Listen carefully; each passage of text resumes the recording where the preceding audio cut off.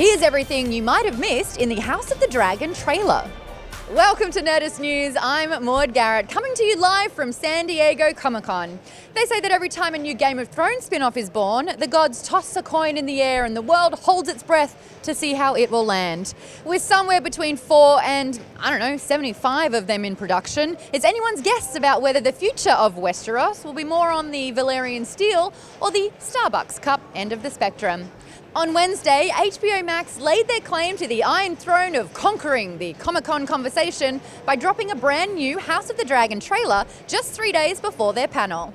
But instead of dragging things out, pun, let's cut to the chase like a Valyrian steel sword through a White Walker, shall we? We're going to break it all down for you in just a moment. But if you are worried about potential spoilers, or you pride yourself in knowing less than Jon Snow, now's your chance to leave. Okay, let's get into it, shall we? Set nearly 200 years before the events of Game of Thrones, House of the Dragon focuses on the bestuous of the incestuous. Better than the restuous, the Targaryens. Specifically, it centres on the events that led up to the infamous Dance of the Dragons, a civil war that nearly burned House Targaryen to the ground. The central conflict here is a tale as old as time who will succeed King Viserys Targaryen on the Iron Throne? Now, one side puts forth Princess Rhaenyra, the firstborn child of King Viserys. Another says that Daemon Targaryen, the rogue prince, you had me at that, is the rightful heir to the throne. Now, unlike the Viserys we met on Game of Thrones, the crown isn't what injures him. We see that Viserys cuts his finger on the Iron Throne in this trailer, which is meant to be more of a visual metaphor here. However, he famously cut himself so badly on the throne that he needed two fingers amputated in the books. Ah, that's why we read the books for you. You're welcome. With the trailer's focus on Daemon losing his claim to the throne, the shot of him standing on a battlefield could be the War of the Stepstones. With the Iron Throne eluding him, Prince Daemon joins forces with Corlys Velaryon to try and conquer a kingdom of his own in the Stepstones, islands that are in between the coasts of Dorne and Essos. And that isn't Prince Daemon's only battle either. No, no. We see Sir Criston Cole of the King's Watch fighting Prince Daemon in a melee. This is likely the tournament where Criston becomes a member of the King's Watch. We see Cole and six other knights at a private ceremony with Princess Rhaenyra too. While Alicent Hightower warns of the dangers of Rhaenyra coming to power, focus shifts to her wearing the symbol of the faith of the Seven. Now, as we saw during Cersei's reign on Game of Thrones, the faith is an incredibly powerful political force. Shame. Don't worry, we loved you in Ted Lasso. Thanks to their brutal treatment at the hands of King Maegor the Cruel, the Faith have a complicated relationship with the Targaryens. At this time, the Faith's headquarters were in Old Town, the home of House Hightower, which explains Alicent's connection.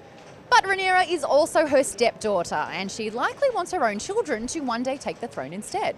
Hey, speaking of her own children, we see one later in the trailer. Mm-hmm. The man with an eye patch dueling Sir Criston Cole in the yard is none other than Aemond Targaryen, someone with a very important role to play in the Dance of the Dragons to come.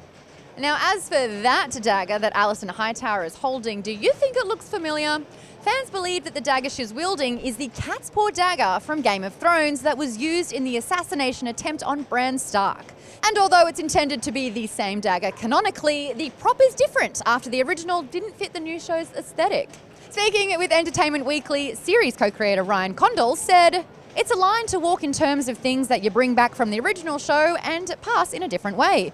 I think that it's important to have connective tissue there to show people that it is the same world and history reflects on objects and the cast of people and sigils as we move down through time without it becoming too self referential. As for the dragons in this house, well, the trailer is packed full of them. One of the highlights of the trailer is seeing the fabled Dragon Pit, home to the royal dragons of the Targaryens in King's Landing. We see Princess Rhaenyra's dragon, Syrax, Prince Daemon's mighty red dragon, Caraxes, and what appears to be Vhagar, the dragon formerly ridden by Aegon the Conqueror and eventually ridden by Aemond. Just keep your eye on the prize, Aemond. Nope, never gonna happen. Anyway, folks, there you have it. That is everything you might have missed in the House of the Dragon trailer. We'll have even more deep dives into Westeros history for you on Nerdist.com as we count down the days until the series premiere on August 21. And we'll have even more updates coming to you from Comic Con all weekend long. For now, though, tell us what did you think of the trailer? Did you spot anything that maybe we missed? Let us know in the comments below. And for the latest and greatest in the world of pop culture, stay tuned to Nerdist.com. You're beautiful.